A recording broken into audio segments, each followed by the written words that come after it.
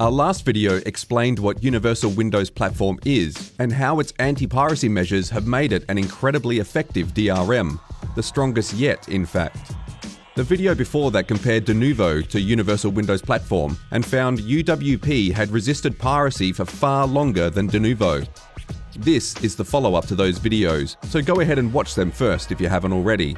Links are in the description and the top right corner.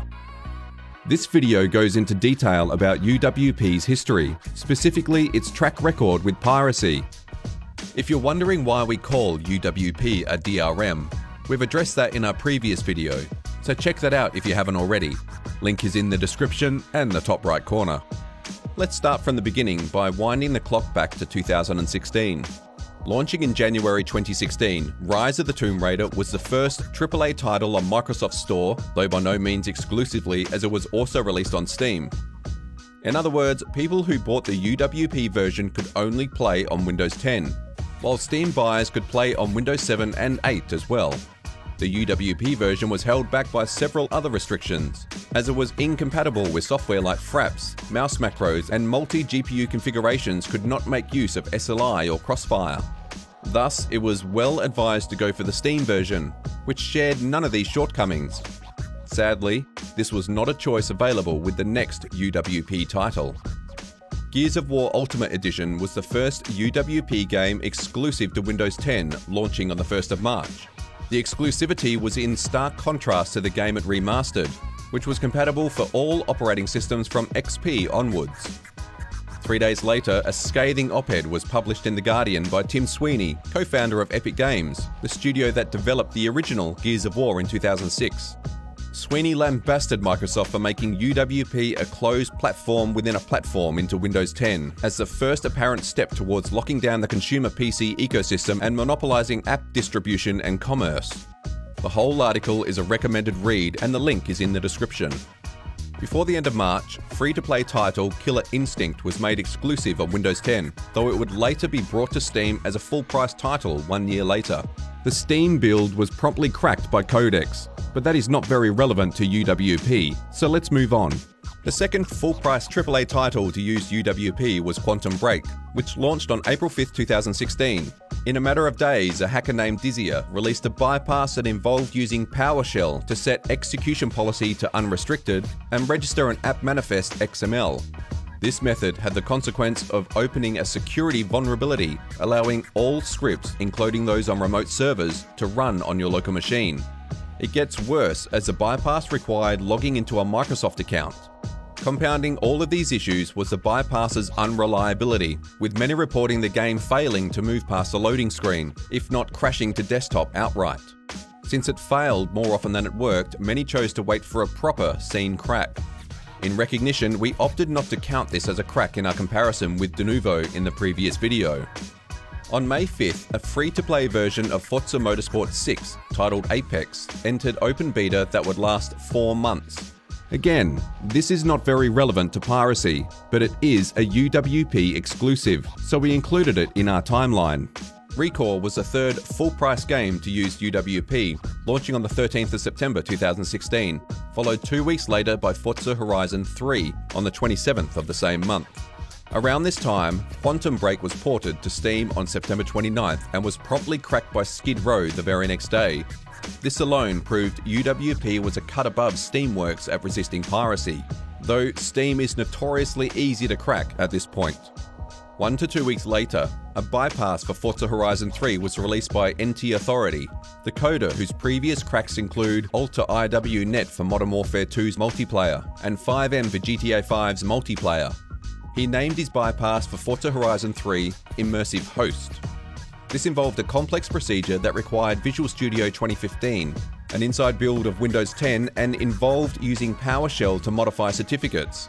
Even after all that, the game was still unstable, leading many to keep waiting for a proper crack. Around the time of Immersive Host's release, Gears of War 4 launched on October 11th, becoming the last UWP game of 2016. In the same month, Gears of War Ultimate Edition was bypassed with Immersive Host, another procedure that required setting execution policy to unrestricted.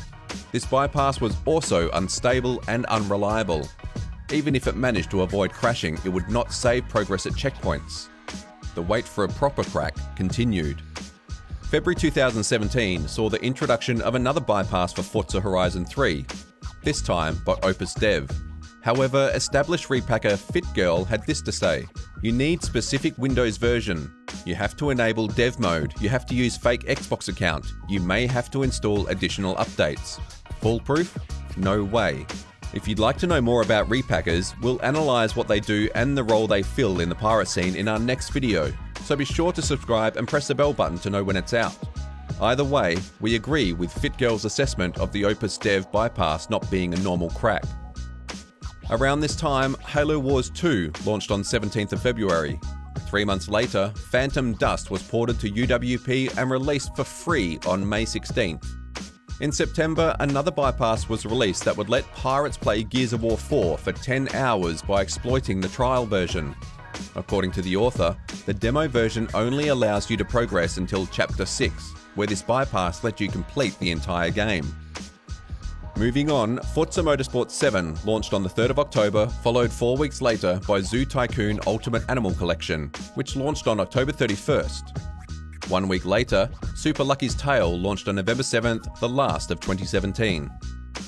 The second month of 2018 saw the release of the first proper crack for Universal Windows platform, with Codex cracking Zoo Tycoon Ultimate Animal Collection on February 14th, 106 days since the game launched. In their release notes, Codex indicated that the game had no less than five different layers of DRM MS Store, UWP, EAppX, XB Live, and Arxan. Six days after this, Age of Empires Definitive Edition launched on February 20th and was cracked by Codex on the 23rd. Codex had cracked the game in just three days. Their release notes for Age of Empires noted only Microsoft and Arxan as the game's DRMs, a trend that continued with their subsequent UWP cracks. This raises the question Was Zoo Tycoon an anomaly in the amount of DRMs it used? Or did Codex change how they denoted DRM, lumping all the other DRMs into one when they list Microsoft as a DRM? Leave your thoughts in the comment section below. Moving on, Codex cracked Super Lucky's Tale on March 4th, 117 days since the game launched. Eight days later, they cracked Gears of War 4 on March 12th, 517 days since the game's release. State of Decay 2 launched on May 22nd and was cracked 18 days later by Codex on June 9th. Three days after that, Codex cracked Forza Horizon 3 on June 12th, 623 days since it hit the market. Less than 24 hours later, an independent hacker going by MNSXX used Codex's emulator on Forza Motorsport 7 and tweaked it to unlock all DLCs. However, this crack was unstable and prone to crashes. Two days later, an independent hacker going by Mercs213 used Codex's emulator on Gears of War Ultimate Edition, though this stopgap could not save progress at checkpoints. Nevertheless, this could be worked around by renaming the chapter folders in the game files. As this isn't a perfect solution, we still classify this bypass as an improper crack. On June 20th, Mercs213 used the same technique to crack Halo Wars 2, 488 days since the game's launch. Halo Wars 2 was the first UWP title to use Denuvo, and it doesn't seem to have hindered Mercs in any way. That being said, his bypass did have issues with saving progress, but this was also the case with his other bypass of Gears of War. Denuvo seems to have had little effect protecting UWP. On June 24th, Codex released a crack fix for Forza Horizon 3, which solved an incompatibility with some builds of Windows 10. Codex appears to have disapproved of others taking liberties with their emulators, as they protected this release with custom hash encryption.